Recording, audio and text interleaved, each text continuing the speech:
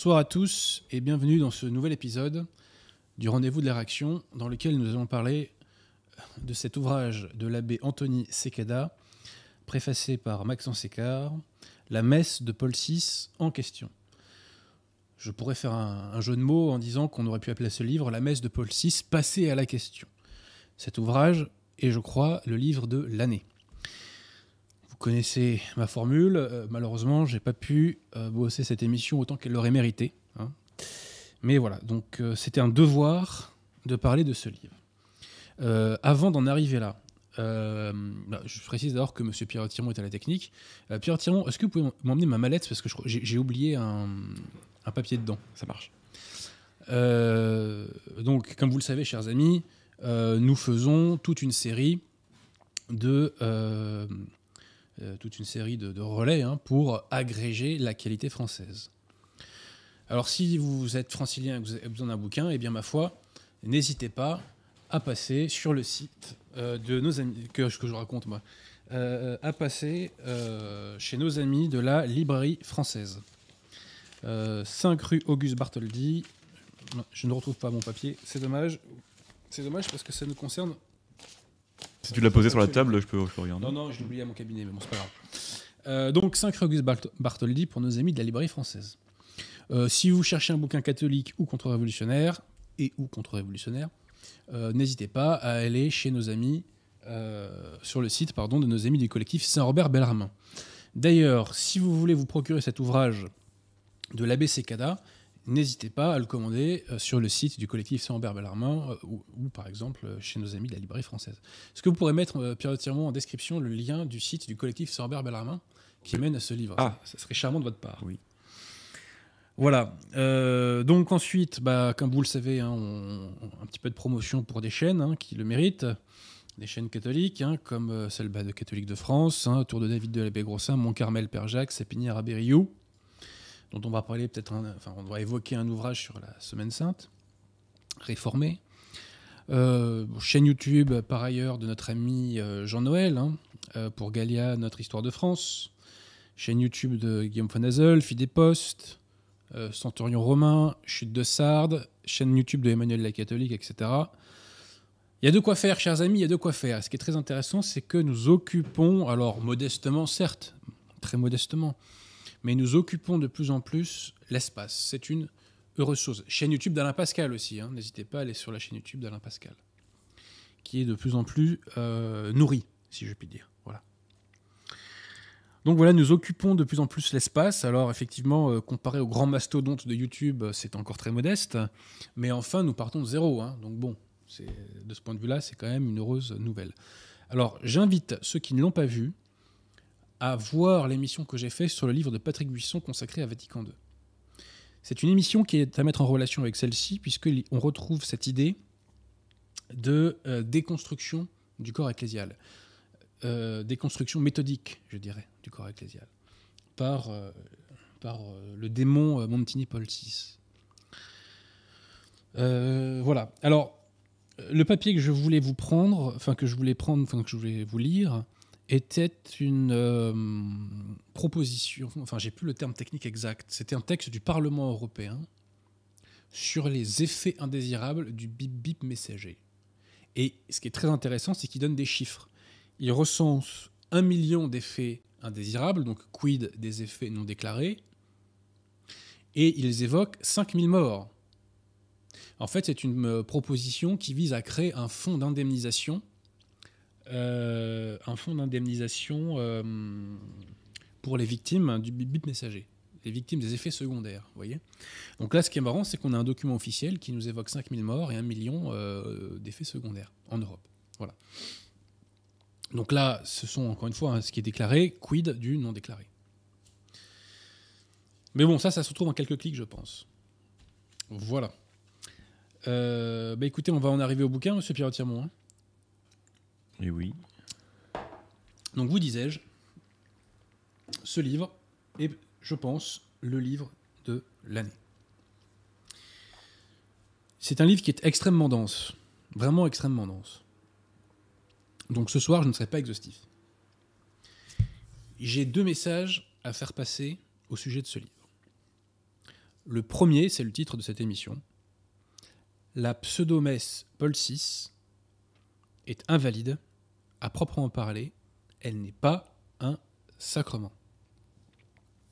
Le deuxième message, c'est que la messe Paul VI a été le véhicule de la religion conciliaire, le véhicule de la religion du salut universel. C'est quelque chose que je ne mesurais pas assez, je dois le dire. Et on comprend pourquoi les gens ont quitté l'Église. Les gens allaient à l'Église pour avoir du catholicisme, si je puis dire.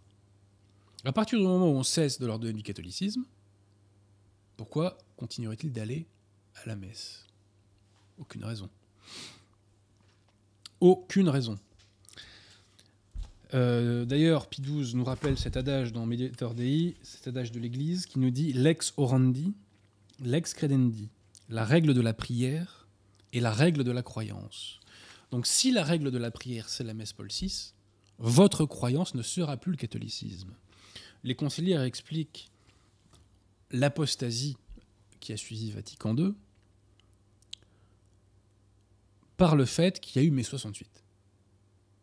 Ça peut expliquer les choses à la marge, en effet, mais ça n'explique pas, d'une part, l'apostasie des hommes d'Église, et d'autre part, je fais remarquer que lorsque l'Église est née, dans un monde païen extrêmement hostile, il n'y avait que 3000 catholiques. Et ils n'ont pas apostasié au motif que le monde environnant leur était hostile. Sachant qu'à l'époque, ils risquaient la mort très souvent en plus. hein. Donc, ces 300 ans de confrontation entre l'Église et le monde païen nous démontrent que c'est pas parce qu'il y a un environnement hostile autour que les gens apostasient forcément. Je dirais même parfois au contraire. hein. Donc, l'un des grands vecteurs qui a fait qu'on a apostasié, bien sûr, c'est Vatican II. C'est le grand vecteur. Et ce qui a répandu cela, c'est cette fameuse pseudo-messe Paul VI.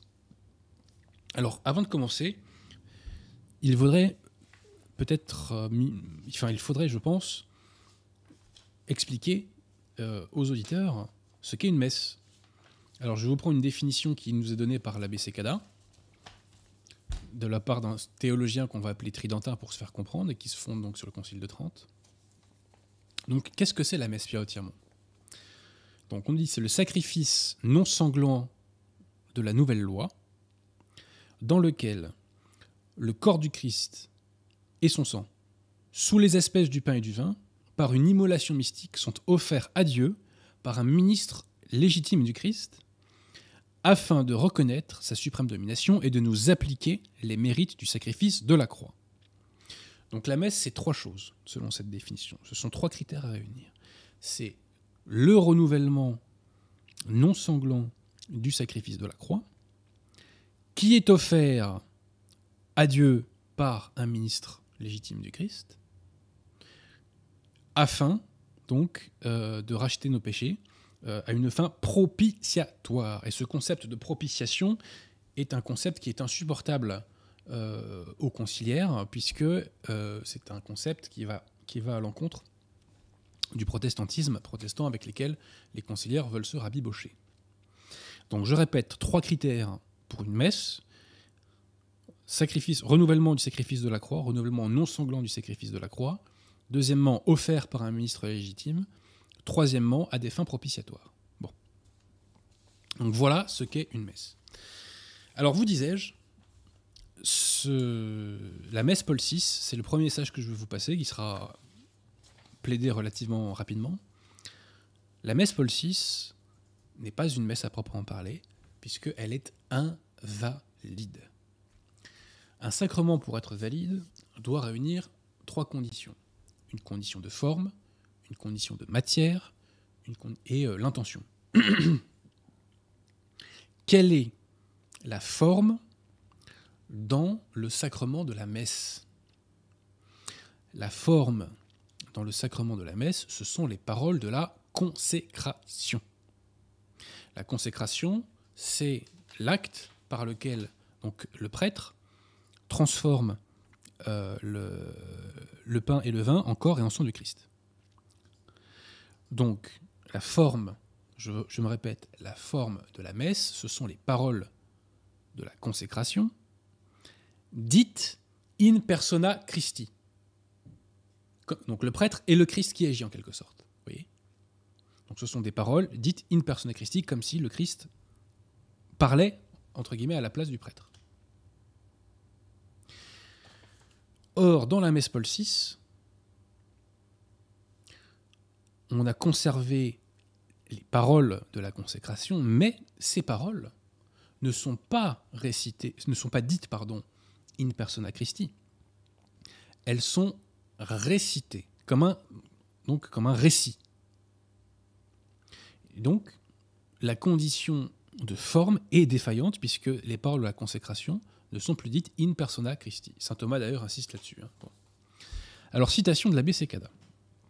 Ah oui, parce que je précise que dans la nouvelle messe, on appelle la consécration le récit de l'institution. Donc déjà, pourquoi changer le nom hein, Alors, l'abbé Secada nous dit ceci. Donc, le récit de l'institution de la messe Paul VI est toujours un récit, récit d'institution et pas une consécration. Les paroles du Seigneur dans la nouvelle messe ne sont rien d'autre que cela. Ce ne sont pas des paroles de consécration, encore moins la forme du sacrement. Les traités pré-Vatican II sur la liturgie et la théologie sacramentelle, qui exposent les conditions nécessaires à la validité de la consécration pendant la messe, et examinent les défauts invalidants dans la forme sacramentelle, insistent sur le fait que les formules essentielles ne doivent pas être prononcées comme dans un simple récit historique. Pourtant, c'est exactement le défaut invalidant que nous trouvons dans les prières eucharistiques de la messe Paul VI. Les formes sacramentelles, d'antan que l'on trouve dans la messe traditionnelle, ont été transformées en récit de l'institution. Les créateurs de la nouvelle messe ont rendu ceci parfaitement clair dans les articles 55D de l'Institution généraliste de 1969 et dans le détail du rite lui-même. Maintenant, donc, le prêtre président au lieu d'agir significativement ou affirmativement en la personne du Christ, raconte simplement une histoire dans laquelle il cite des paroles prononcées il y a longtemps par le Christ. Donc je me répète parce que ça, il faut que ça rentre. Le sacrement n'est pas valide parce que, donc la messe Paul VI n'est pas valide parce que la condition de forme, qui est la prononciation des paroles de la consécration in persona Christi, n'est pas dit précisément donc in persona Christi, mais elle est dite selon un simple récit. Voilà. Donc, cette messe n'en est pas une. Voilà le premier message qu'il fallait passer. Maintenant, le deuxième étage, c'est le véhicule de la religion du salut universel. Et il va falloir que je vous présente donc cette messe Paul VI. Elle a des origines euh, lointaines. Il faut remonter au XIXe siècle, tout d'abord, et euh, à un personnage très important euh, dans l'Église de France, qui est Don Guéranger. Don Guéranger a créé un mouvement qui s'appelle le mouvement liturgique. C'est un mouvement de valorisation, d'étude, d'approfondissement de la liturgie. Un mouvement qui été suivi très attentivement par Saint Pilice notamment. Ce mouvement, au début du XXe siècle, va être subverti, va être infiltré et détourné par des modernistes. Je vais vous en citer trois. Don Lombert Baudouin, Joseph Jungmann et Paul Bouillet. Donc trois clercs. Hein. Don Lombert Baudouin donc avait, euh, faisait des expériences œcuméniques Et il a été condamné à ce titre par Mortalium Animos, qui est une très bonne encyclique de XI que je vous invite à lire et dans laquelle notamment il rappelle l'importance du magistère ordinaire de l'Église, dédicace au Lefévriste. Alors ce cher Don Lambert Baudouin, eh bien, euh, il fait une confidence intéressante au père Louis Bouillet. Donc le père Louis Bouillet, je précise, c'est un des piliers de la secte conciliaire, hein, puisque c'est l'un donc des, euh, des, clercs qui a dégagé les principaux axes de la fausse messe Paul VI. Donc Bouillet a fait un bouquin sur Don Lambert Baudouin, et il raconte que le jour de la mort de Pie XII, Don Lambert Baudouin lui a dit ceci. S'ils élisaient Roncalli, tout serait sauvé. Il serait capable de convoquer un concile et de consacrer le communisme. Le silence retomba, puis la vieille malice revint dans un éclair de regard. J'ai confiance, dit-il. Nous avons notre chance. Les cardinaux, pour la plupart, ne savent pas à qui ils ont affaire. Ils sont capables de voter pour lui. On est le jour de la mort de Pie XII. Donc ça, ça veut dire quoi? Tout serait sauvé, nous dit-il. Ça veut dire que les modernistes avaient d'ores et déjà un plan concerté. Il y avait un complot moderniste. Et d'ailleurs, la doctrine de Vatican II est si, entre guillemets, complète dans sa nouveauté et si bien exécutée que ceci n'a pas pu être improvisé le temps d'un concile. C'est bien entendu un travail sur plusieurs années, voire plusieurs dizaines d'années. Le modernisme voulait faire accoucher cette religion du salut universel. Donc, Don Lambert Baudouin, condamné. Je vais vous parler maintenant d'un personnage important, euh, donc l'un des deux grands euh, inventeurs, si je puis dire, de la nouvelle messe, en tout cas de ses racines, de son essence, c'est le père donc euh, Jungmann, Joseph Jungmann. Donc Jungmann a inventé la théorie de la corruption et il a inventé la pastorale liturgique. Alors qu'est-ce que c'est la théorie de la corruption? C'est l'idée que la messe s'est éloignée de ses idéaux primitifs, à partir à peu près du Moyen Âge. Et le prêtre, donc, peu à peu, s'est coupé de l'assemblée. Si bien que les fidèles sont, comme euh, séparés du prêtre, par citation, un rideau de fumée. Et les fidèles ne sont donc plus que des spectateurs qui ne sont plus partie prenante à la liturgie, nous dit Jungmann. La pastorale liturgique, c'est cette idée qu'il euh, faut remanier la messe pour répondre aux besoins des fidèles. On croyait que la messe était pour le, bon Dieu avant tout, bah non, non, c'était pour les besoins contemporains, hein. euh, les besoins contemporains des fidèles. Attendez, bougez pas, parce que je crois que. Voilà, donc le premier but de la messe, théoriquement, nous dit Pie XII, c'est la glorification du Père Céleste. Le deuxième, c'est rendre de les grâces qui lui sont dues. Et le troisième, c'est donc pas le sacrifice, qui a un but d'expiation, de propitiation et de réconciliation. Alors la conclusion de Jungmann, c'est qu'il euh, faut retirer de la messe tout ce qui, euh, dans l'Église, a été ajouté sur euh, la pureté liturgique primitive. Donc je répète, hein, il faut supprimer ce qu'on a ajouté au fil des années, au fil des siècles même. Et cette analyse est partagée par un, par un prêtre en 1964 qui fait une conférence qui s'appelle l'abbé Ratzinger et qui nous dit, qui nous évoque, je cite, cet archéologisme dangereux dans lequel baignait la liturgie de la messe depuis le Concile de Trente. Bon, alors lui, il est plus modéré, c'est depuis le Concile de Trente que ça va mal pour lui. Euh, alors que pour Jungmann, c'est depuis le Moyen Âge. Euh, donc, archéologisme qui fait que l'on perçoit à peine le sens véritable des différentes parties de la messe. Alors, je ne sais pas à quelle messe il allait, Ratzinger. Que l'on ne s'aperçoit même plus qu'elle comporte l'intronisation de l'évangile, la profession de foi et les prières d'intercession crois qu'il avait encore une autre citation.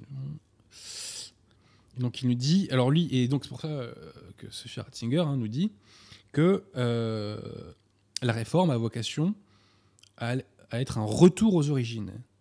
Et il faut parler donc du décapage des nombreuses couches qui, historiquement, avaient assez souvent recouvert dans de vastes proportions le noyau initial. Hein.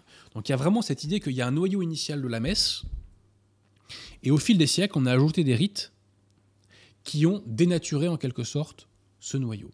Eh bien, cette idée, chers amis, a été infailliblement condamnée par dans Mediator Dei. Puisque Pie XII nous dit ceci Un usage ancien ne doit pas être considéré à raison de son seul parfum d'antiquité comme le plus convenable et meilleur. Les rites liturgiques plus récents, eux aussi, sont dignes d'être honorés et observés, puisqu'ils sont nés sous l'inspiration de l'Esprit Saint, qui assiste l'Église à toutes les époques, jusqu'à la consommation des siècles. Donc cette idée que, en quelque sorte, l'Église aurait mal fait en ajoutant des rites et en ne faisant rien contre cette accumulation, je dirais, indue euh, et malvenue des rites, c'est contraire à l'indéfectibilité de l'Église, c'est contraire à l'assistance de l'Esprit Saint. Mais néanmoins, ce Jungmann va avoir un rôle extrêmement important et va être validé par tous les modernistes, Béard, Roncalli, Montigny, etc. Parlons maintenant du deuxième personnage, qui est euh, Louis de Bouillet, dont je vous ai déjà parlé. Alors Louis Bouillet euh, va dégager euh, oui, les grandes lignes de la fausse messe Paul VI, puisque c'est lui qui va nous dire qu'en fait la messe n'est pas un sacrifice contrairement à ce qu'on croyait, ou en tout cas pas comme on l'entendait, mais c'est avant tout une assemblée. La messe, nous dit-il, est une assemblée. Comment fait-il cette translation du sacrifice à l'assemblée? Vous allez voir. L'étymologie du mot sacrifice, c'est le latin sacrum facere, rendre saint. Et la messe, qu'est-ce que c'est? La messe, c'est ce qui fait que cette assemblée est rendue sainte. Donc, par le simple fait de cette réunion. Et le peuple est fait peuple de Dieu par la messe. Voilà. Donc en fait, c'est ça le vrai sens du sacrifice, c'est que c'est une, la messe est une assemblée. Et Bouillet s'inspire dans ses réflexions d'un luthérien qui s'appelle Ingue Brilotte, je crois. Et en fait, ils prennent comme euh, idéal de la messe ce qu'on appelle le Keal Yahvé dans l'Ancien Testament, qui est une réunion euh, liturgique des Juifs de l'Ancien Testament, si vous voulez. Donc cette idée fondamentale de la messe Paul VI, c'est que la, messe est une assemblée. Bon. Et cette deuxième idée fondamentale qu'on retrouvera dans la messe Paul VI, c'est qu'il y a plusieurs types de présence réelle. Normalement, la présence réelle, c'est ce qu'on trouve, c'est euh, le corps et le sang du Christ après la, la, consécration. Et eux, ils vont nous dire, mais non, certes, il y a ça, mais il n'y a pas que ça. Il y a d'autres présences réelles du Christ. Il y a la présence réelle du Christ dans le clair, qui est mis donc sur le même plan que la présence réelle, entre guillemets, normale. Et il y a la présence réelle dans le peuple. Le peuple, réuni dans la messe, est la première présence du Christ. Donc il y a plusieurs présences du Christ. Et ce que nous dit Bouillet, c'est que si vous ne vous focalisez que sur la consécration, eh bien, vous perdez de vue ce qu'est véritablement la présence réelle. Donc Paul VI en, 65, donc 5 ans avant le nouvel ordomicée, le nouvel ordomicée c'est l'ordinaire de la messe Paul VI, hein, a fait donc un torchon pseudo-encyclique qui s'appelle Mysterium Fidei, dans lequel il nous dit qu'il y a plusieurs présences réelles à la messe. Donc il y a cette présence réelle en parlant de la vraie qui nous dit donc on la nomme réelle non à titre exclusif. Non à titre exclusif, comme si les autres présences n'étaient pas réelles. Voilà. Mais par excellence, parce qu'elle est substantielle et que par elle, le Christ homme Dieu se rend présent tout entier. Donc il nous dit bien qu'il y a d'autres présences réelles. on voit que tout ça, c'est un long cheminement. Hein. Ce livre aussi est une façon de nous donner le, mode d'emploi, je dirais, du, modernisme, puisqu'il nous permet vraiment de comprendre comment ces gens avancent à coup de petits pas, à coup d'ambiguïté, à coup d'hypocrisie, etc. Donc là, voilà, on a, euh, le, je dirais, le, substrat euh, spirituel, spirituo-idéologique, si je puis dire, de la fausse messe Paul VI. Cette idée donc que la messe est une assemblée, qu'il faut, euh, qu'il y a plusieurs types de présence réelle, à commencer par le peuple de Dieu, et qu'il faut supprimer tout ce qu'il y a en trop pour restaurer un noyau primitif. Je précise que l'Église, dans le passé, a effectivement parfois supprimé des rites locaux, en quelque sorte, qui s'étaient euh, installés euh, à tort, je dirais, euh, sur la messe. Je crois que c'est notamment ce qu'a fait Saint Pie V. Hein.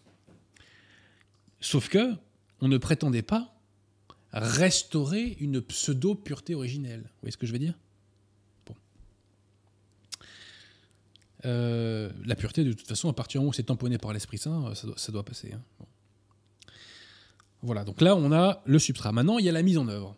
Alors, Pie XII va se laisser arracher en mai 48 la création d'une commission liturgique pour faire une réforme liturgique. Il y aura plusieurs membres dans cette commission, mais il n'y en aura que trois qui sont vraiment très actifs. Le père Braga, un deuxième qui est le père Lowe, et le troisième qui est le félon en chef, à savoir Hannibal Bounini, que vous trouvez en miniature de cette émission. Bounini va être le, véritable maître d'œuvre, hein, si je puis dire, de euh, la, destruction euh, de la messe. Parce que c'est ça l'objectif, c'est la destruction de la messe. Hein. Et Bergoglio est dans, une parfaite continuité avec Traditionis, Traditionis Custodes. Donc ce mouvement de réforme liturgique qui commence en 48. Que va-t-il se passer? C'est très simple. C'est que sous l'impulsion de Bounini, toute une série de petites réformes liturgiques vont préparer le terrain du nouvel ordomicée, en introduisant à petite dose des éléments qu'on retrouvera à beaucoup plus forte dose dans le nouvel ordomicée. Et comme le dit Paracels, la dose fait le poison. Donc avant même l'introduction du nouvel ordomicée, par exemple, l'abbé Secada nous dit que le latin avait quasiment disparu.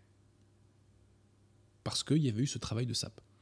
Une partie de ce travail a été fait sous Pie XII, mais le plus important a été fait sous euh, le félon euh, Roncalli. Alors, quelles sont ces euh, réformes? Alors, tout d'abord, en 51, je crois, on a fait une nouvelle, euh, on a fait une expérience de veillée pascale euh, pour, que, cette veillée pascale soit célébrée euh, pendant la nuit du samedi saint. A priori, en soi, c'est neutre entre guillemets. Sauf que on va profiter de ce prétexte pour introduire toute une série, comme je vous l'ai dit, de petits éléments à petite dose qu'on retrouvera à très grande dose plus tard. Citation. Nous voyons déjà dans la veillée pascale de 51 certaines pratiques et certains principes qui, 18 ans plus tard, seront imposés de façon générale dans le nouveau sort de de Paul VI. Rite raccourci. Passage de trois prières à une et de douze prophéties à quatre. Invention des rites nouveaux. Inscription du cierge pascal, renouvellement des promesses du baptême.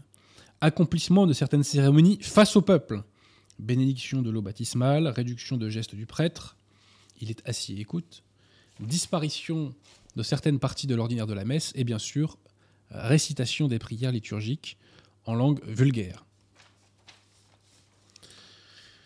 Le mouvement continue avec la réforme de la Nouvelle Sainte, qui euh, est valide, hein, puisque euh, c'est tamponné par Pie XII, mais qui est euh, discutée.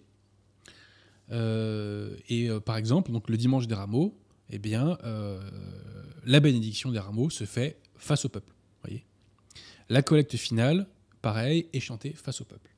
Alors, certains prêtres nanunacum ne euh, font pas la semaine sainte selon le rite XII.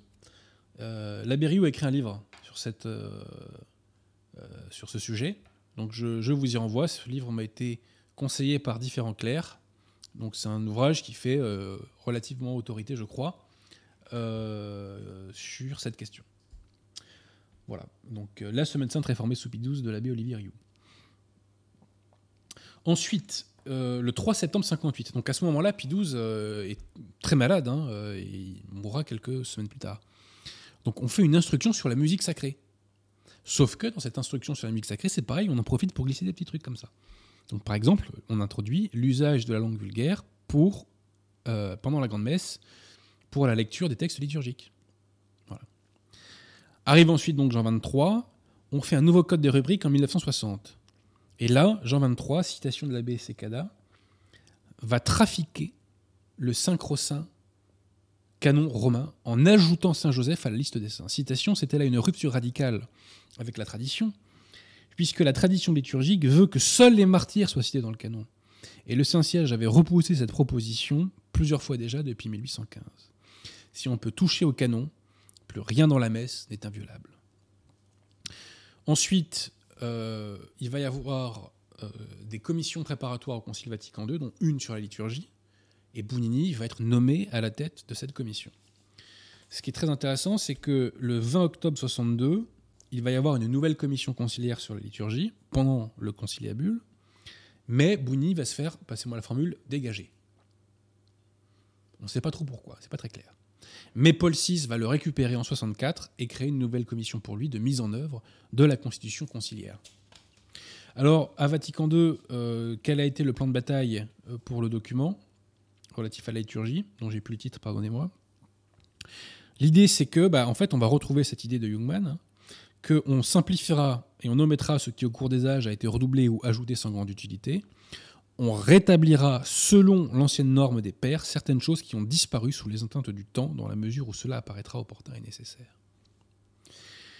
Et ensuite, il y a cette idée qu'il faut qu'il y ait une participation active des fidèles. Alors ça, c'est très curieux, pourquoi? Parce que la participation active des fidèles, ça a été toujours défendu par les papes au niveau de la messe. On a des textes du Pie XII où il nous dit que les, fidèles ils doivent participer en suivant donc la messe dans le missel, en chantant, etc. Voilà. On peut se demander, mais qu'est-ce qu'ils veulent dire par là les conciliaires? Qu'est-ce qu'il leur fallait de plus? C'est pas très clair tout ça. Voyez? Et alors ce qui est très intéressant aussi, c'est que Bounini, le 19 mars 65, va faire un article à l'Osservatore euh, euh, romano-romanais, je ne sais plus comment on dit en italien, et il va nous dire ceci. Il va nous expliquer ce qui va être la matrice de réflexion pour la création de ce faux sacrement. L'amour des âmes et le désir d'aplanir de toutes les façons possibles le chemin de l'union avec les frères séparés. Les frères séparés sont les protestants. A conduit l'Église à faire ces sacrifices difficiles en ôtant tout obstacle ou tout ce qui ou tout ce qui pourrait apporter la moindre gêne. Donc en fait, ce que nous dit Bounini, c'est que tout ce qui déplaît aux protestants, dans la messe, dans la messe, vraie messe catholique, instituée par Jésus-Christ, qui dans son dernier état était appelée la messe Saint-Pie V, donc tout ce qui déplaît aux protestants, nous allons le supprimer. C'est ça qui nous dit Bounini mot pour mot. Alors, l'abbé Secada résume le rôle de Bounini jusque-là. Donc Bounini jusqu'ici a été remarquable. Dans les années 40, il trame la révolution liturgique avec ses amis modernistes du mouvement liturgique. Dans les années 50, profitant de sa position stratégique dans la commission, il introduit peu à peu certains éléments du programme moderniste. En 1960-61, il rassemble les propositions pour la Constitution sur la Sainte Liturgie de Vatican II. En 1962, il rédige le schéma préparatoire pour la Constitution sur la Sainte Liturgie. À partir de 1964, il dirige la commission qui interprète la Constitution choisit ses collaborateurs et met en œuvre la constitution qu'il a rédigée en créant de nouveaux rites. Après la création de la nouvelle messe, il dirigea au Vatican la congrégation pour le culte divin. vous voyez, c'est vraiment un, taulier, si je puis dire, hein, ce cher Bonini. Hein. Alors, il prend une instruction en 1964 qui s'appelle Inter Ecumenici. Donc, dans cette instruction, donc 64, donc on est six ans avant la mise en œuvre de la fausse messe. Hein. Donc, on autorise, on généralise l'usage de la langue vernaculaire, même pour les prières liturgiques proprement dites. Alors ce qui est intéressant, c'est que sur l'abandon du latin, l'abbé Ratzinger dit un truc intéressant aussi. Est-ce que je vais le retrouver? Ouais, c'est là. Donc il nous dit ceci. La décision concernant la langue, donc le latin, était une décision d'une grande portée qui, de ce fait, devait être appliquée certainement avec circonspection et tact, mais qui en même temps était susceptible de rendre un service capital au salut des âmes Pensez donc. À la rencontre nouvelle que l'on voulait entre le christianisme et l'esprit moderne. Donc là, on est typiquement dans la réconciliation avec le monde, schématisée, théorisée par Jacques Maritain, qui est l'un des piliers de Vatican II, qui est en fait le modernisme, parce que c'est ça le modernisme, hein, c'est essayer de concilier euh, la philosophie moderne avec, euh, avec le catholicisme. Donc généralisation du vernaculaire en 64, et cette instruction aussi demande à ce que les hôtels ne soient plus construits ou plus positionnés au fond de l'église. Pourquoi? Parce que si l'hôtel est au fond de l'église, le prêtre ne peut plus être face au peuple pour faire la messe. Alors aussi, c'est pareil, hein, euh, on nous évoque euh, que là, on fait des hôtels secondaires qui doivent être vraiment dignes, dans lesquels on pourra placer le tabernacle. Pourquoi on le tabernacle de l'hôtel principal? C'était quoi le problème? Ensuite, nouvelle instruction en janvier 65. Donc là, la messe face au peuple est explicitement autorisée. Le prêtre ne doit pas diriger la liturgie de la parole depuis l'autel, mais depuis un siège présidentiel. Ensuite, nouvelle instruction en 767, simplification ou suppression de, nom- de nombreux gestes, génuflexion, baiser de l'autel, signe de croix, inclinaison. Et le canon peut être dit à, haute voix. En- ensuite, donc, décret du 23 mai 1968, très important, où là, Paul VI va faire sauter le canon romain, c'est-à-dire qu'il va créer euh, bah, de- des, choses qu'on peut substituer donc au canon romain, ce sont ces prières eucharistiques. hein. Donc, euh, donc il y a trois nouvelles prières eucharistiques, oui voilà.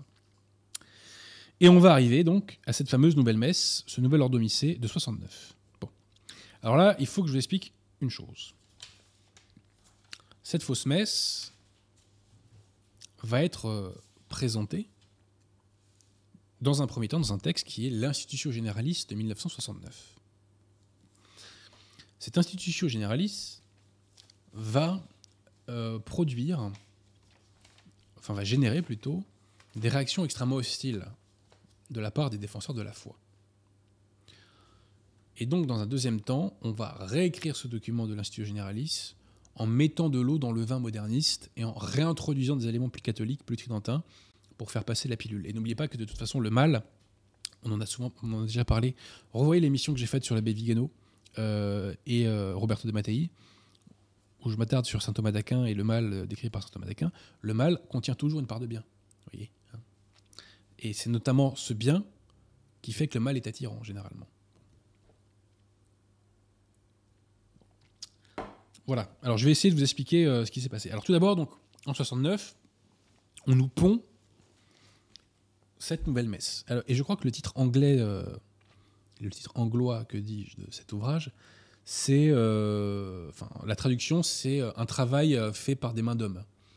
Alors que la vraie messe, la messe catholique, elle, elle a été instituée par Jésus-Christ. hein, c'est la grande différence. Alors, cette messe, qu'est-ce que c'est? Alors, déjà, rappelez-vous, chers amis, qu'est-ce que c'est une messe? C'est donc le renouvellement non sanglant du sacrifice de la croix, offert par un ministre légitime de Dieu, afin de nous appliquer les mérites de la croix, donc à une fin propitiatoire pour racheter nos péchés. Donc ça, c'est la vraie messe. Alors, est-ce qu'on retrouve ça dans la définition de la messe? Paul VI. Alors, je vais retrouver cette définition, si la Providence le veut. Euh, oui, la voilà. Alors, qu'est-ce que c'est la messe? Est-ce que déjà c'est le sacrifice de la croix? Alors, on nous dit, article 7 de l'Institut Généraliste de 69. La scène dominicale ou messe? La scène dominicale La scène Mais je croyais que c'était le sacrifice de la croix, on dit que maintenant que c'est la scène. Donc, la scène dominicale ou messe et l'assemblée. On retrouve Vibouillet. L'assemblée sacrée où le peuple de Dieu se réunissant sous la présidence du prêtre. Donc le prêtre n'est plus un sacrificateur, c'est un président. Pour célébrer le mémorial du Seigneur. Je répète, la scène dominicale ou messe est l'assemblée sacrée où le peuple de Dieu se réunissant sous la présidence d'un prêtre pour célébrer le mémorial du Seigneur. Alors donc, euh, bah, c'est très simple. hein. Autrefois, on avait un sacrifice de la croix Maintenant, on s'aperçoit que c'est une assemblée. Autrefois, on avait un prêtre qui était un sacrificateur. Aujourd'hui, on a un prêtre qui est simplement un président et qui qu'on célèbre donc le rite avec le peuple de Dieu. Et qu'est-ce qu'on célèbre? Eh bien, on célèbre un mémorial. On nous dit le mémorial euh, du Seigneur. Voilà. Alors, la BCK nous dit donc dans la théologie catholique normale, la messe est un mémorial puisqu'elle est d'abord un acte sacrificiel. Dans la nouvelle théologie, la messe est d'abord un mémorial de la mort et de la, résurrection du Seigneur que l'Assemblée célèbre en tant qu'action communautaire. Alors donc, suite à cela, eh ben, il va y avoir des réactions. Et notamment deux cardinaux, euh, donc Ottaviani et Paci, vont faire un texte très connu qui s'appelle le Bref examen critique, donc qui va critiquer cette, ce projet de, de fausse messe. Et le, la tête pensante, le principal euh, auteur de ce document en réalité, qui est-il? C'est le père Guérard Deslauriers, futur monseigneur Guérard Deslauriers, évêque Nanunakum, qui est l'un des, bah, qui en doit le, enfin qui est l'un des artisans du, sauvetage du sacerdoce, si- je puis dire. Donc quoi qu'on pense de monseigneur Guérard, c'est un héros de la foi euh, pour cette raison-là. Mais bref, en tout cas, à ce moment-là, donc Monseigneur Guérard, qui n'est à l'époque que le père Guérard, euh, le père Guérard donc euh, fait ce texte, le bref examen critique. Alors, que reproche-t-on euh, à, à cette institution généraliste de 69 Alors, citation. Donc, nouvelle définition de la messe en tant qu'assemblée et non pas en tant que sacrifice offert à Dieu. Omission d'éléments qui soulignent l'enseignement catholique selon lequel la messe offre satisfaction pour les péchés. Réduction du rôle du prêtre qui se voit désormais quasiment relégué au rang de ministre protestant. Négation implicite de la présence réelle du Christ dans la doctrine et de la doctrine pardon, de la transsubstantiation. Transformation de la consécration d'un acte sacramentel en un simple euh, récit commémorant l'histoire de la scène. Fragmentation de l'unité de la foi catholique par l'introduction d'innombrables options.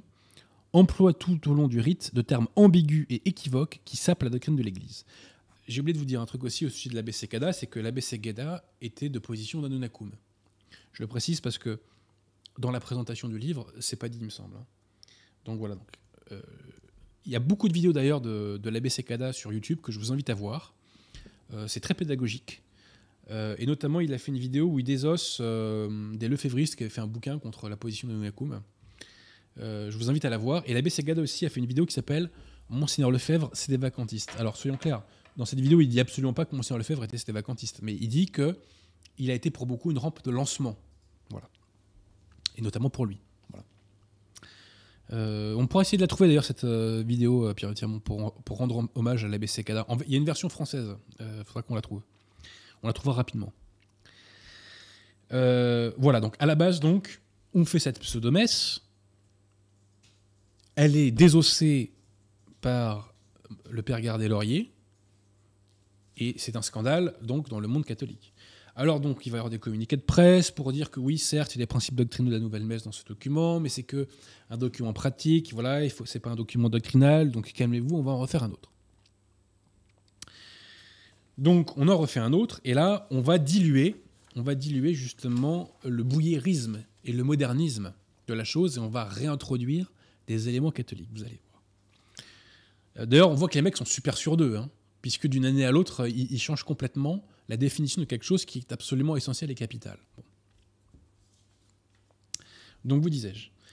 Donc, nouvelle définition de la messe. Donc, à la messe ou scène du Seigneur, le peuple de Dieu est convoqué et rassemblé. Donc, il y a quand même cette idée qui est moins affirmée, mais qui reste présente du fait que la messe est une assemblée. Sous la présidence du prêtre, donc le prêtre n'est toujours plus un sacrificateur, hein, c'est bien le président euh, de, la chose. Euh, qui agit en la personne du Christ, donc là on réintroduit du tridentin, pour célébrer, alors célébrer quoi? Pour célébrer le mémorial du Seigneur ou sacrifice eucharistique. Ah, on retrouve le sacrifice, ce qu'on avait un petit peu oublié. Donc le, prêtre pardon, préside, euh, préside la célébration du mémorial du Seigneur ou sacrifice eucharistique. Plus loin, on nous dit que dans la célébration de la messe est perpétué le sacrifice de la croix. Donc là, on réintroduit un élément tridentin. On ne nous dit pas trop que c'est de façon propitiatoire. Hein. voyez?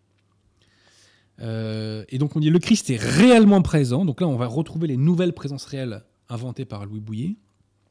Le Christ est réellement présent dans l'assemblée elle-même, réunie en son nom, dans la personne du ministre, dans sa parole et aussi, mais de façon substantielle et permanente, sous les espèces eucharistiques. Donc, commentaire de l'abbé Cada. Donc, la révision de 1970 ne résolvait pas tous les problèmes.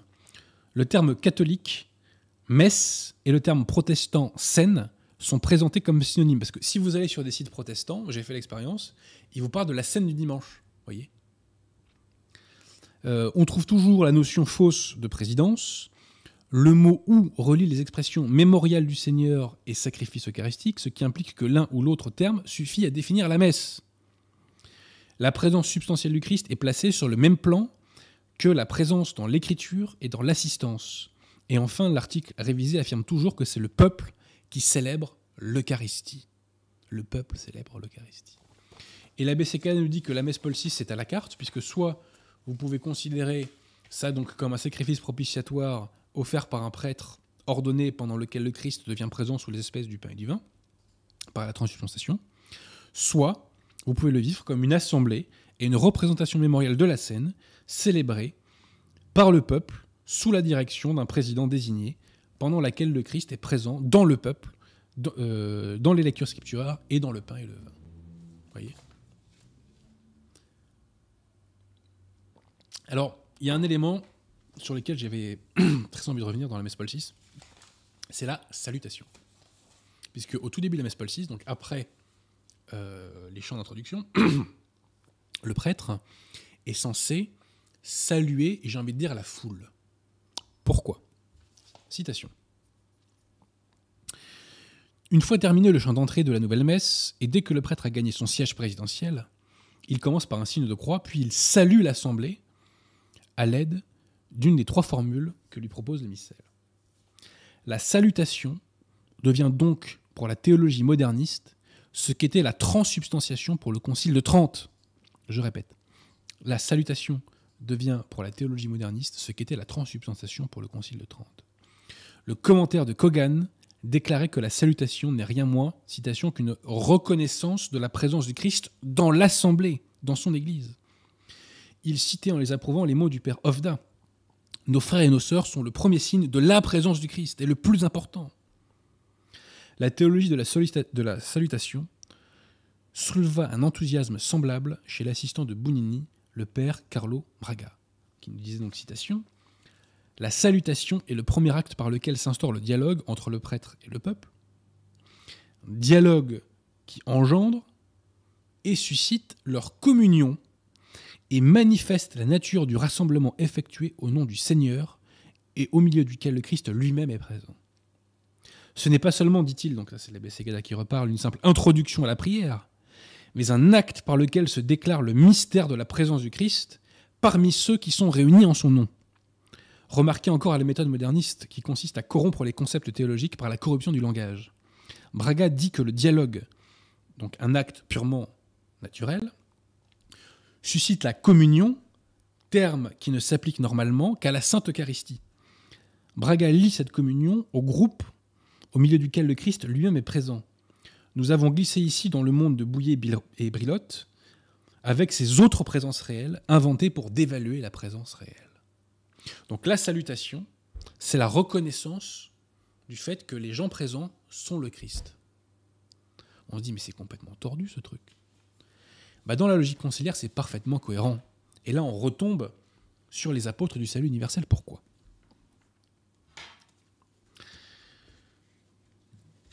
Henri de Lubac, que vous voyez ici, a créé une hérésie dans les années 30. Hérésie qui va être reprise quasiment euh, mot pour mot euh, dans euh, Gaudium et Spes.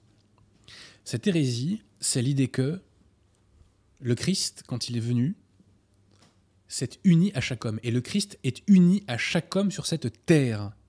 Qu'il y ait baptême ou pas baptême, qu'il y ait état de grâce ou pas état de grâce, le Christ est uni à chaque homme qui est sur cette terre. Et Wojtyla Jean-Paul II développe très longuement cette idée dans, dans euh, Redemptor Minis.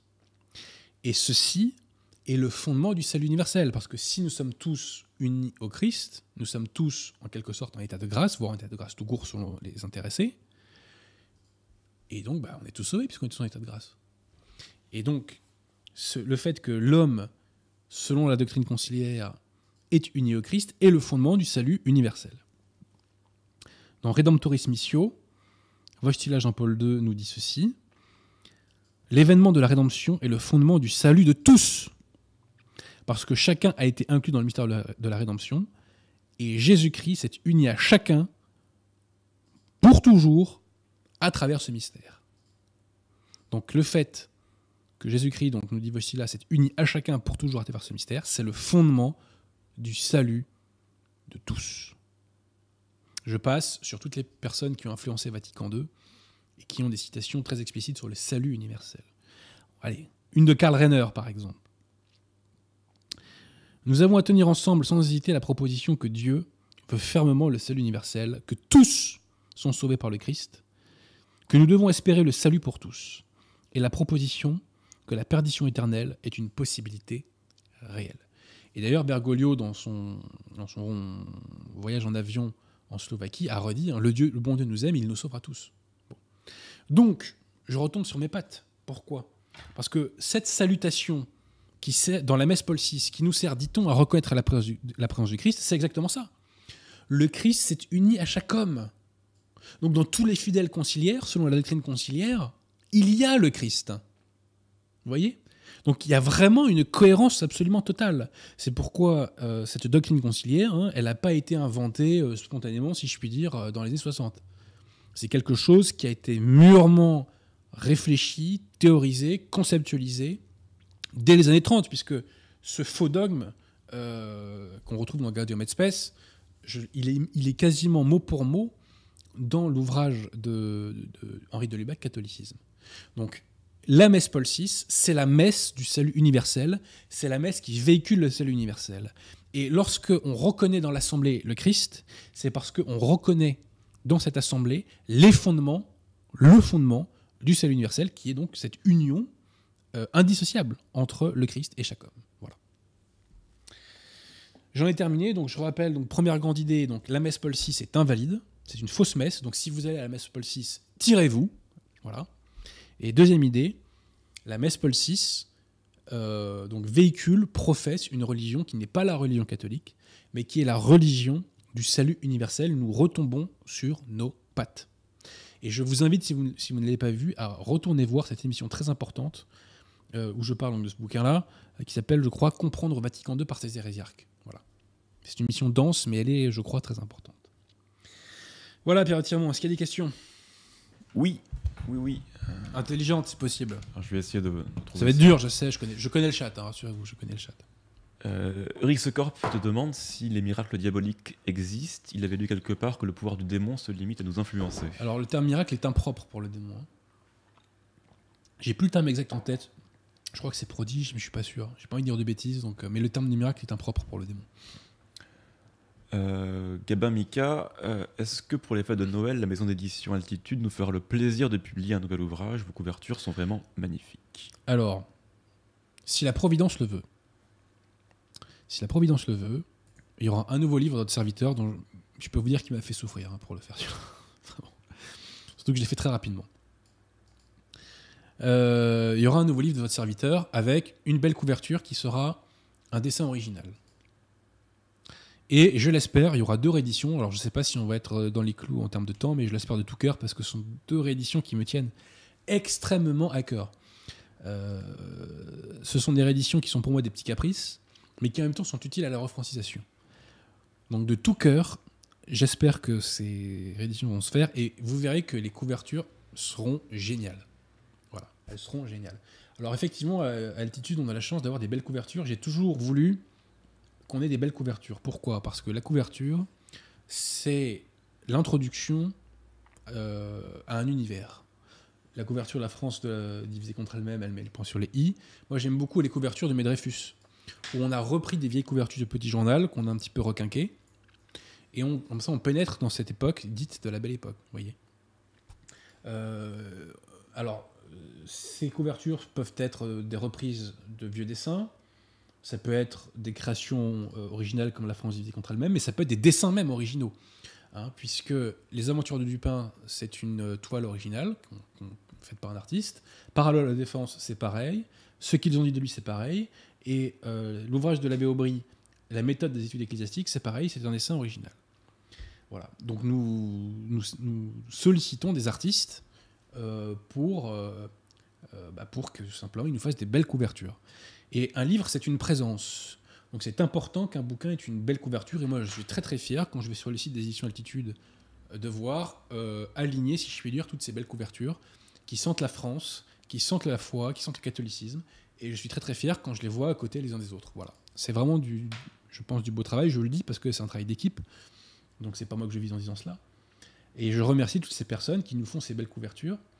Euh, vraiment, que ce soit les graphistes ou les dessinateurs, les artistes, euh, c'est vraiment du travail de pro. Euh, et, je les en remercie, ça fait vraiment des beaux ouvrages. Voilà. Mais si la Providence le veut, oui, il y aura des nouveaux livres de votre serviteur.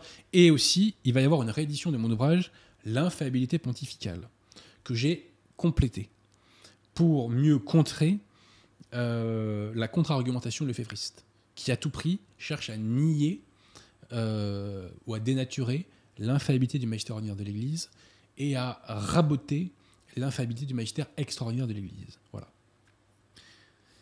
Et je vais répondre à des contradicteurs notamment. Voilà. Et, euh, mais ça sera sanglant.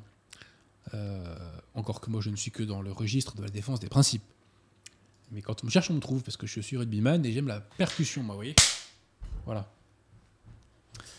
Est-ce qu'il y a d'autres questions, Pierre Tirmont Lydia dit bonsoir à tous. Aurons-nous l'occasion de, te ren- de rencontrer Adrien bientôt pour une conférence? Bah, Conférence, euh, oui, je crois qu'on va faire une. Bon, on va en faire une en, euh, décembre, a priori. On va en faire une en décembre sur Jean Jaurès, puisque la deuxième partie de est une maladie mentale est consacrée à Jean Jaurès. D'une part, d'un point de vue purement historique, et d'autre part, parce que ça nous permet de comprendre ce que j'appelle le stade 3 du gauchisme. Vous voyez? Jean Jaurès nous fait comprendre ce qu'est le stade 3 du gauchisme.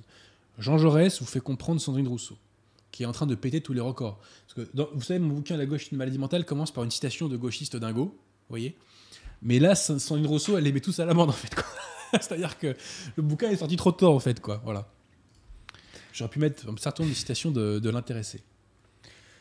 Euh, du Rosa, pourquoi Monseigneur Vigano tarde-t-il à se faire reconsacrer euh, évêque par de vrais catholiques? L'abbé Vigano. L'abbé Vigano, on peut, on peut dire Monseigneur sans le viser comme évêque. Mais je dissipe l'équivoque. Puis tout le monde l'appelle Monseigneur, donc il faut bien que quelqu'un de temps en temps rappelle qu'il n'est pas validement sacré. Euh, bah, il faut trouver l'évêque en question qui le voudra, et il faut que l'abbé Vigano euh, soit en communion avec cet évêque, si je puis dire. Voilà. Donc, euh, le Saint-Esprit est en train de bosser, rassurez-vous. Véronique Gérard, qui a vu le nouveau missel conciliaire très inclusif? Si oui, qu'en pensez-vous? Je sais pas de quoi elle parle. S'il y a un tout nouveau missel récent, je, je, je, je- je ne ne l'ai pas, sais pas non plus. je ne l'ai pas parcouru. La vie est trop courte en plus, hein, excusez-moi. Mais... Adrien Gallien, est-ce que Maître Abosi sera un intervenant du, trim- du trimestriel de Papacito Euh, je sais pas dans quel cadre, euh, je ne sais pas. Bon, j'en ai pas parlé avec lui. Mais ceci dit, je tiens à remercier Papacito. Tiens, j'ai fait un dédicace à Papacito. Alors déjà, c'est une des rares personnes. euh, Il y, a- il y a deux personnes qui me soutiennent vraiment euh, dans cette galaxie très vaste, c'est Papacito et Alain Pascal. Donc vraiment, je les salue et je les remercie.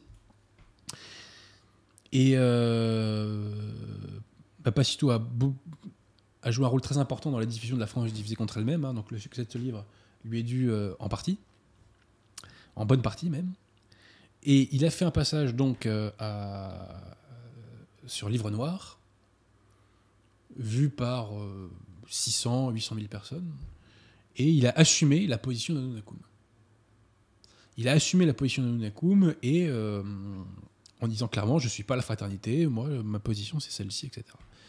Bah, chapeau, parce qu'il a absolument. Alors, d'un point de vue matériel, il a rien à gagner à le faire. Au contraire, moi je peux vous dire que depuis que j'ai pris cette position, j'ai perdu, entre guillemets, 90% de mes soutiens dans la pseudo-galaxie nationale, tradi et compagnie. Et de vous à moi, je m'en moque. hein. Sincèrement, je, je suis très bien avec la vérité. hein. Je vous dis sincèrement, je préfère la compagnie de la vérité à celle des mondains.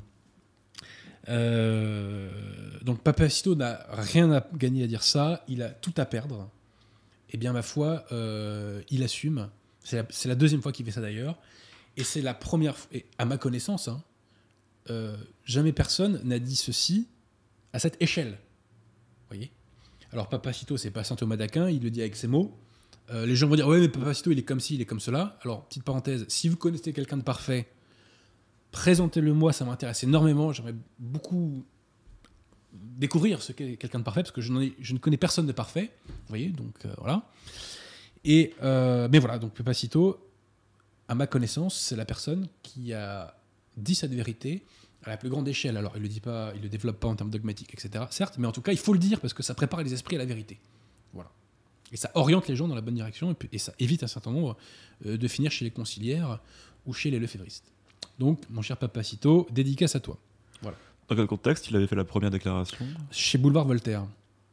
Il a, mais ça avait été à 200 000. euh, bah, il avait dit ah bah, attendez, bon, je fais citation, citation, citation. Je- Papacito réclame. Papacito, euh, Pierre de Tirmont réclame, pardon. Donc, Boulevard Voltaire, il avait donc le 1er novembre 2020 devant 260 000. Alors, à l'époque où j'ai fait le bouquin, donc devant 260 000 euh, personnes hein, qui, ont, qui avaient vu la vidéo. Phrase fatale. Moi, je suis personnellement cédé vacantiste, ce n'est pas un secret pour personne. Je pense que le entre guillemets pape est un imposteur. Je pense que la vraie Église catholique n'est pas représentée par ce pape-là. Franchement, Papacito, énorme dédicace à toi. Énorme dédicace à toi. Faut avoir du courage pour dire ça. Parce qu'en plus, ça, le démon aime pas. hein. Donc autant les gauchistes vont pas vous ennuyer quand vous dites ça, parce qu'ils sont des années-lumière de ces questions-là. En revanche, je peux vous dire que dans le camp national et dans la pseudo-galaxie euh, conciliaire et donc dans le pseudo-monde de la tradition, ça fait naître des haines gigantesques. Voilà, J'ai fait naître des haines gigantesques. hein. Euh, Mais bon, après, voilà, comme je vous dis, la, compagnie de la vérité me dérange pas. Et puis, si la vérité dérange certains, ma foi, c'est leur problème.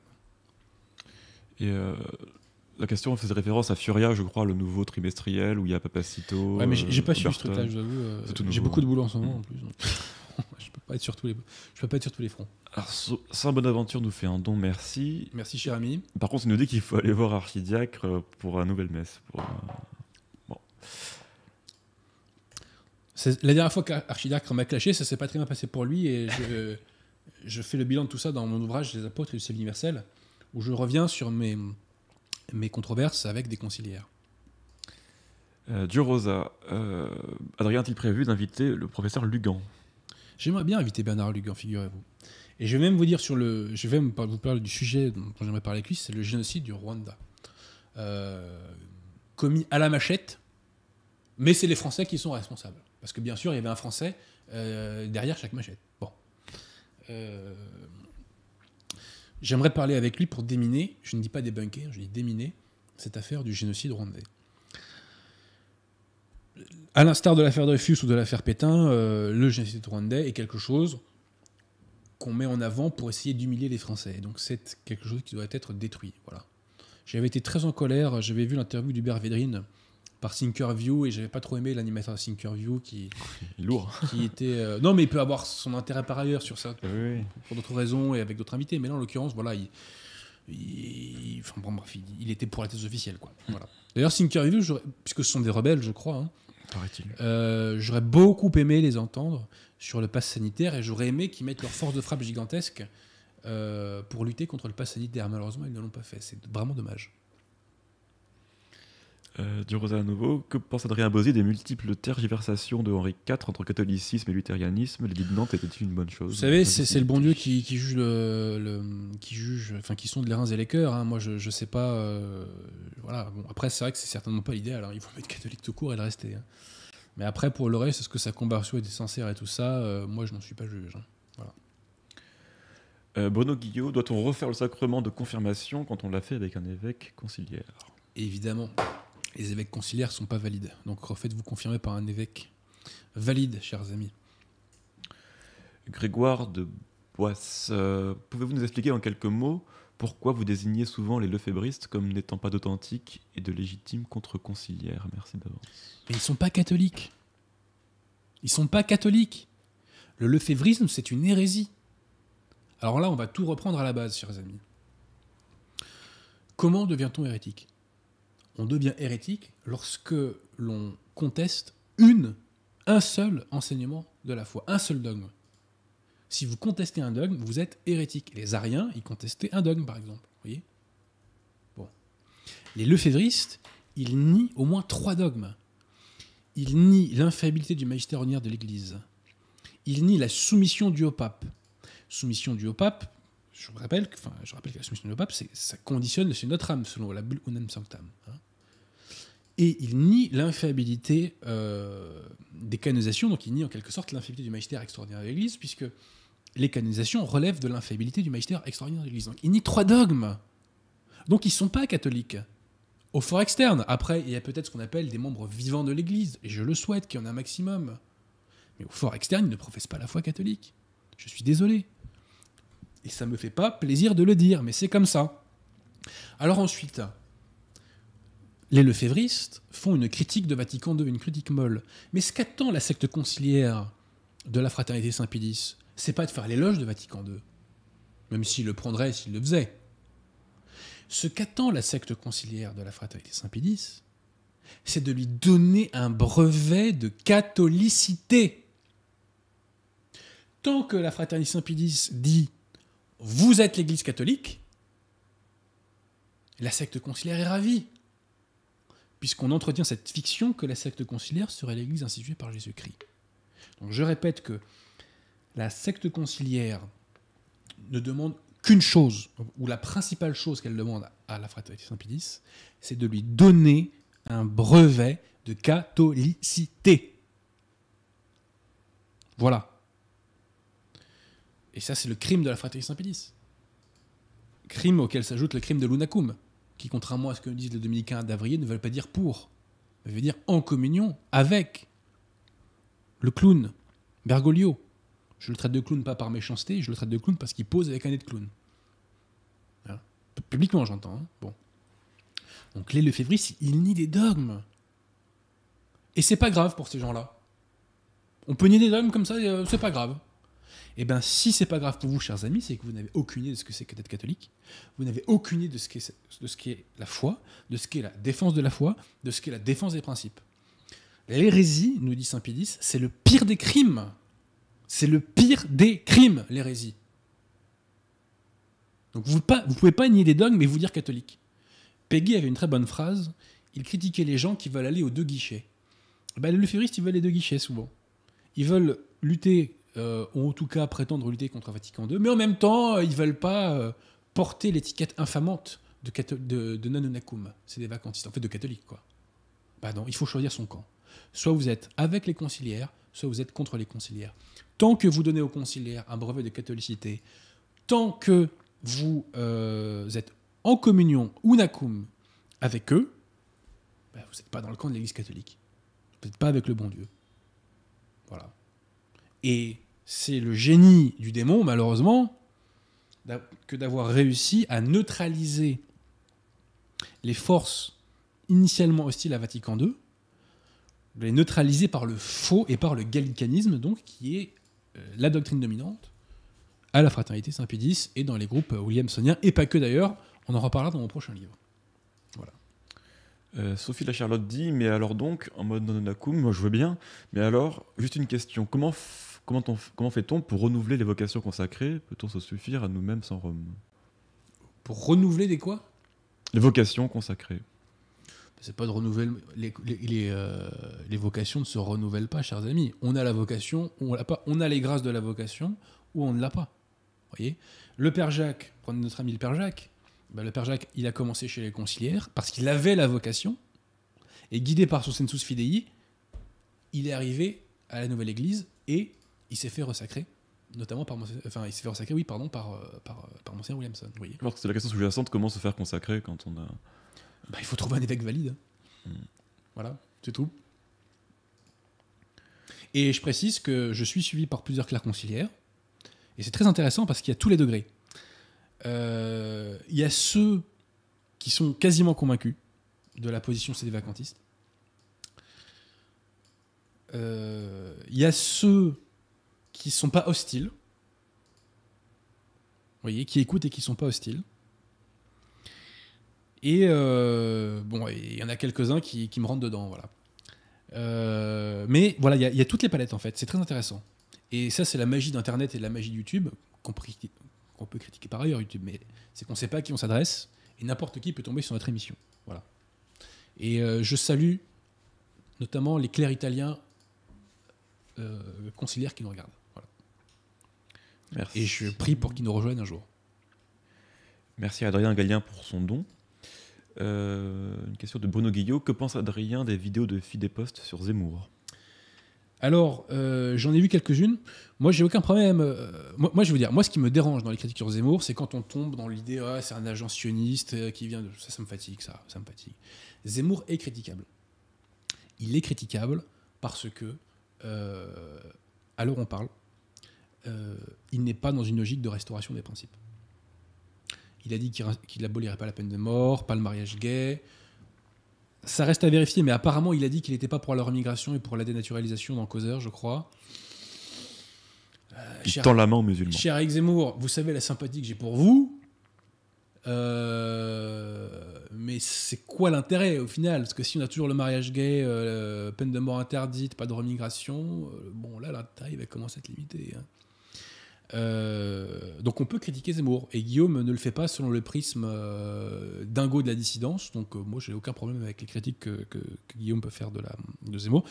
J'ai vu des vidéos, mais qui, qui remontent il y a un peu plus d'un mois, je crois. Donc j'ai plus exactement euh, toute son argumentation à l'esprit. Mais voilà. Il m'avait semblé qu'il n'était pas tombé dans les délires de la dissidence. Donc c'était une bonne chose. Donc moi, je n'ai pas une attitude d'hostilité vis-à-vis de Zemmour. Euh, je suis dans la critique euh, constructive. Euh, et je lui dis, cher Zemmour, je vous suis reconnaissant que vous défendiez le maréchal Pétain autant que vous pouvez. Je suis reconnaissant que vous commenciez à bouger sur l'affaire Dreyfus. Mais si vous pouviez être dans une logique de restauration des principes, ça serait beaucoup mieux. Voilà. En attendant, bon, ben voilà quoi. Alors, ceci posé, la candidature Zemmour a deux grands intérêts. Le premier intérêt, c'est que ça peut flinguer le RN et euh, politiquement, ça peut faire chuter donc Marine Le Pen. Donc ça, ça serait excellent. Quel que soit d'ailleurs le, résultat euh, final de l'élection. Euh, que Zemmour soit au second tour ou pas, je veux dire là. Et deuxièmement, c'est que la candidature Zemmour, et ça il ne faut pas le mésestimer, c'est comme la lutte contre le pass sanitaire, ça permet de réagréger les forces de contestation, et ça permet à des forces qui n'ont pas le même niveau de radicalité de s'agréger. C'est-à-dire que les forces radicales prennent en puissance, et les forces moins radicales prennent en, bah, justement en justesse idéologique. Donc la candidature Zemmour n'est pas parfaite, loin s'en faut. Moi, je vous l'ai déjà dit, je ne vais pas voter parce qu'il n'est pas dans une logique de restauration des principes. Euh, si Zemmour pouvait être un, un MacMahon, par exemple, un MacMahon qui réussit, je pourrais voter pour lui. Le problème, c'est qu'aujourd'hui, c'est pas le signes qu'il donne. Donc moi, je conserve ma sympathie pour Zemmour, parce qu'encore une fois, je suis reconnaissant. Mais euh, j'aimerais qu'il arrête de prendre des décisions qui, vont à l'encontre de, la restauration des principes, tout en relevant, que sa candidature, euh, finalement, euh, met du piment dans cette campagne. Euh, et euh, donc, elle permet de, de flinguer euh, l'imposture euh, Le Pen, euh, et ça, c'est quand même une très bonne chose. Et autre très bonne chose, c'est qu'elle permet d'agréger les forces de contestation. Et si pour 2022 ça donne rien, en tout cas pour l'avenir, ça donnera de bons fruits, je pense. Alors, il y a un autre candidat à la présidentielle qui est intéressant, c'est Arnaud Montebourg. Arnaud Montebourg est un gauchiste, hélas, mais en matière économique, il a beaucoup de propositions très intéressantes. Et d'ailleurs, j'invite Zemmour à lui piquer ses bonnes propositions, notamment de lutte contre les GAFA, ou de muselage, si vous préférez, euh, des GAFA, et des plans de retour à la campagne qui sont extrêmement intéressants. Donc, je ne suis pas quelqu'un de sectaire, je suis solide sur les principes, mais au niveau des humains, il faut être souple. Et euh, Montebourg, sur ces questions-là, il faut le reconnaître, a des idées inventives extrêmement intéressantes. Voilà. Donc, si Montebourg pouvait abjurer son gauchisme, ça, en ferait un, candidat très intéressant pour, euh, pour la présidentielle. Voilà. Un candidat très sérieux pour la présidentielle. Mais je vous le dis, il faut prendre les bonnes idées là où elles sont. Voilà. C'est comme Philippot, hein, c'est pas ma tasse de thé, mais quand Philippot euh, joue un rôle héroïque sur la question du pass sanitaire, et ben voilà, moi je lui dis, je suis avec Philippot sur ces questions-là, il n'y a pas de problème. Euh, D'ailleurs, si Zemmour, Philippot et Montebourg pouvaient se réunir dans une candidature, ça serait intéressant. Ça serait intéressant. J'y crois pas trop, hein, c'est mal parti. hein. Mais ça serait intéressant. Voilà. c'est tout pour les questions que je note. Donc voilà, donc euh, en résumé, ma position. De toute façon, les choses changent sur Zemmour en fonction des positions qu'il prend, mais moi, ma position est la suivante c'est que c'est dommage que euh, ça ne soit pas euh, davantage une candidature, enfin que ce soit pas tout court une candidature de restauration des principes. Je ne tombe pas dans les délires de la dissidence qui me fatigue, je vous le dis clairement, et franchement, euh, il y a deux leviers hein, pour flinguer les cerveaux aujourd'hui c'est l'idéologie dominante véhiculée par la télé et le complotisme des réseaux sociaux, quoi, qui vraiment euh, flingue les têtes, mais euh, bref, passons. Et je parle du vrai complotisme, hein, pas de l'anathème complotiste que nous évoquent les gens du système. Alors je précise un truc sur Zemmour, c'est qu'il y a certaines, personnes qui me font grief de ne pas le soutenir davantage. Alors, petite parenthèse, si Zemmour veut que je le soutienne davantage, il n'y a pas de souci. Hein. Par contre, il faut une contrepartie. Ben, moi, vous voulez que je soutienne M. Zemmour? Pas de souci. Ben, dans ces cas-là, euh, restaurer les principes. Voilà. Mais c'est pas pour ça que je vous dis ça. En 2014, vous vous souvenez, Zemmour s'était fait mais surdiaboliser et surpourrir la tête suite à l'affaire Salamé quand il avait défendu Pétain chez Ruquier. Et notamment le rôle de Pétain dans le salut des juifs français et d'une partie des juifs étrangers à l'époque. Eh bien, j'ai fait, aller, euh, donc en 2014, une vidéo pour défendre Zemmour qui a fait près de 100 000 vues. qui me fait même plus de 100 000 vues parce qu'elle a été reprise par diverses personnes sur YouTube, où je défendais Zemmour sur donc la question du maréchal Pétain. Eh bien, je dis à toutes les personnes euh, qui ont le culte de la personnalité de Zemmour et qui me critiquent parce que je ne le soutiens pas, je leur dis, mais les mecs, vous étiez où à l'époque pour soutenir Zemmour et pour l'aider quand il était dans la tourmente? Aujourd'hui, vous êtes avec lui parce qu'il a le vent en poupe. Mais à l'époque, vous étiez où Quand il se faisait pourrir la gueule par les grands médias et compagnie? Vous n'étiez pas là. Eh bien, moi, j'étais là. Parce que défendre Zemmour sur cette question-là, c'était défendre la vérité. Voilà. Donc, dans la tourmente, j'étais là pour l'aider. Vous, vous n'étiez pas là. Donc n'allez pas me donner la leçon. Aujourd'hui, sur cette présidentielle, euh, moi, ce qui me fatigue, c'est qu'on parle. Enfin, il y, a une hystérie euh, autour de Zemmour qui, moi, me gonfle. Je vous dis clairement. J'en ai marre des dingos du net. Hein. je vous dis, euh, ça, c'est globalement, c'est ma ligne. Hein. Quel qu'il soit. Et il y a deux personnes agaçantes sur la question Zemmour.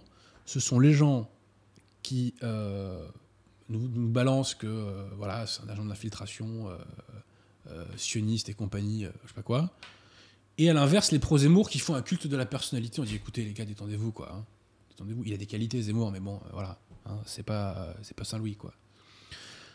On peut critiquer Zemmour de façon intelligente. Et on peut critiquer Zemmour de façon à alimenter positivement le débat public. Faisons comme ça. Voilà. Faisons comme ça. Eh bien, écoute, euh, je remonte le film et je vois que ça discute beaucoup, mais pas de questions. Bah écoutez, on va pas faire de zèle, hein, mon cher Pierre Donc je vous confirme que euh, il va y avoir donc, une réédition de la faculté pontificale, si la Providence le veut, euh, dans quelques semaines. Je vous confirme, chers amis, que il va y avoir un nouveau livre de votre serviteur, si la Providence le veut ou le permet, au mois de décembre, et il y aura des belles rééditions aussi, des belles rééditions pour Noël. De, très beaux livres français.